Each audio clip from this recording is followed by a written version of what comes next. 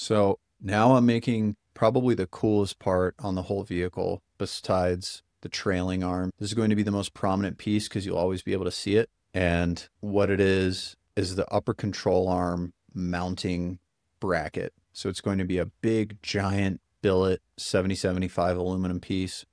And the reason I did not want to use sheet here is because those pivot points on the rod ends are at really weird angles with respect to each other. And I need to capture them in a way where sheet metal just wouldn't work for this application unless you had really, really precise bends. The whole thing would bind up. So I just decided to use aluminum on this part because the upper control arms have the lowest amount of force on them out of any component in front assembly because there's no shocks attached to them. All they're doing is keeping the wheel upright as it cycles through the suspension. And the only force load that you would get on it is a lateral force load when you're going through a turn. And since those rod ends are spread so far out, their respective moment arms really reduce the force on each. So I'm starting by defining the upper control arm spherical bearing locations, which are all at 30 degrees with respect to each other, but they're slightly offset from the origin. And what I'm going to do is just make a big boxy part that ties in everything where I need it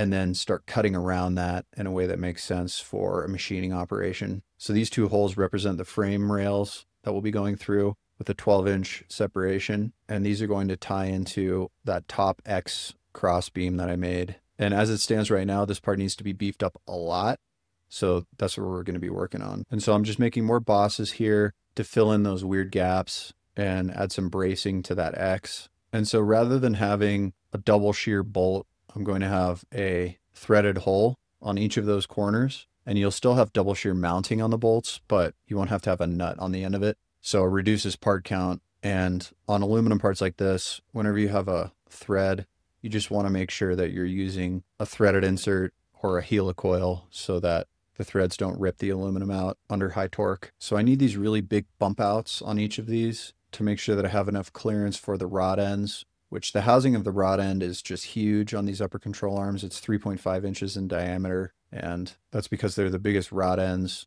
that I could find for an application like this. They're a two inch inside diameter and a two inch thread, which would be overkill for anything else other than this crazy vehicle most of the stuff that I found on the trophy truck suppliers websites goes up to about an inch for rod end size, but these are double that because the tires are double anything that's out there.